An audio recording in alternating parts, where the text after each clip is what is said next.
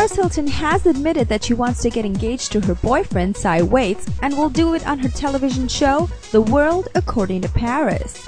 The 30 year old socialite and television reality star says she's so happy with her current squeeze that she doesn't mind sharing the intimate moment with her fans. Hilton admitted that, We really live life to the fullest. We are so happy. It's almost been a year and a half since Paris and Cy Waits have been together. As for now, we just can't wait to watch the show.